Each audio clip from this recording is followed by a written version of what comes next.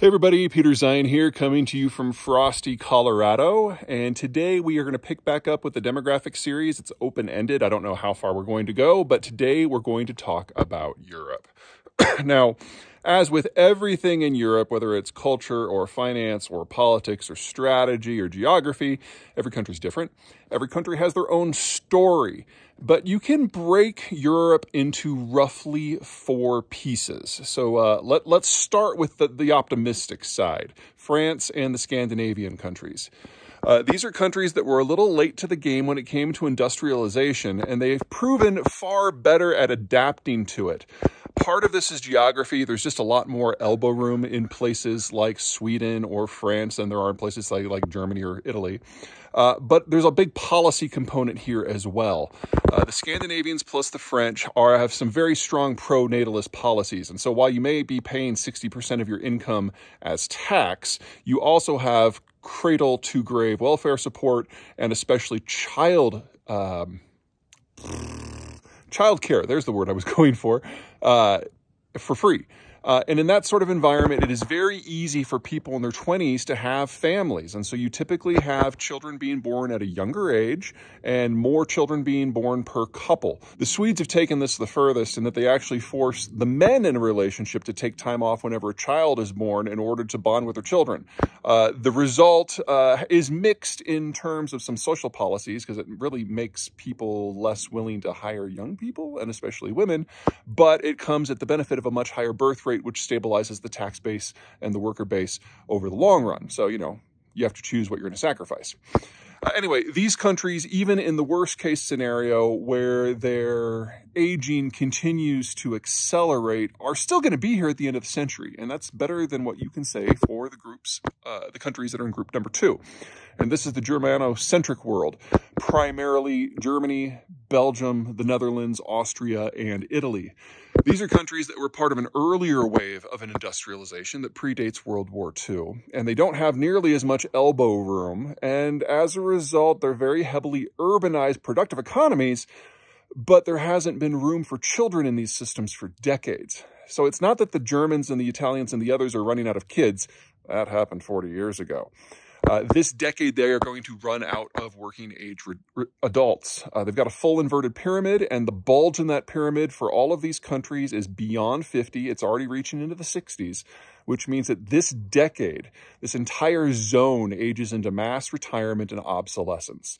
And we do not have an economic theory designed for what happens in a country where you no longer have children or young adults or mature adults and it's all retirees.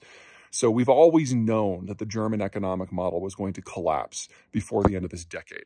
It's just an open question of whether something else, whether it's a trade war, an energy crisis, or I don't know, a war with Russia, uh, speeds this process up. These are the countries that are going to vanish from the world by 2050. Group three uh, is a little bit brighter. These are countries that came a little bit late to the industrialization game for various reasons, and they are primarily the countries of Central Europe and Iberia. So let's start with the Iberians.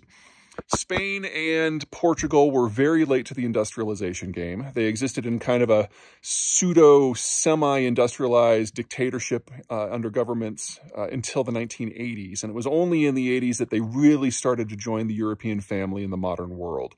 So they have a similar structure to what's going on in Germany and the Netherlands and the rest from a much later start. So their bulge is in their 40s instead of nearing their 60s. And as a result, these countries have at least another 20 years to go. Now, the problem here is that because they were late industrializers, their birth rates and their urbanization rates are changing more quickly than those really aged countries in Central Europe.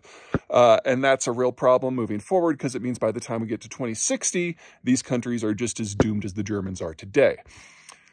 On the other half of that equation, you've got some countries that started even later, uh, primarily the Central European countries of Estonia, Latvia, Lithuania, Poland, Hungary, Slovakia, and the Czech Republic. Uh, industrialization under the Soviet system in many ways echoed what we saw in Spain. And these countries really didn't start to develop in full until we got to the 1990s. Uh, the problem is it came late, so the birth rate drops were rapid. They still have a lot of people in their 30s. Their bulges are people in their 30s and into the early, early 40s. So these countries have at least another 20 to 30 years to go.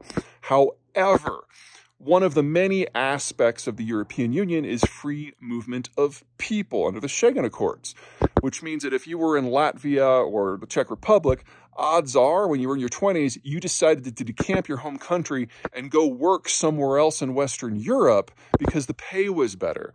And so as long as you are transient like that, you're not having kids.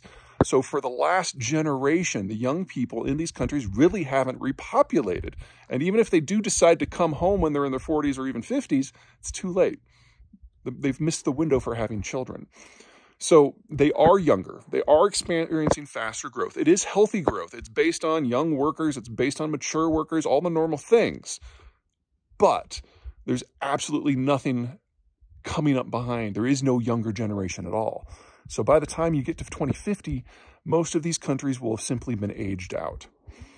Now, the final group we're going to have to deal with in a different video because they're so fundamentally different from the first three, and that's the Orthodox world.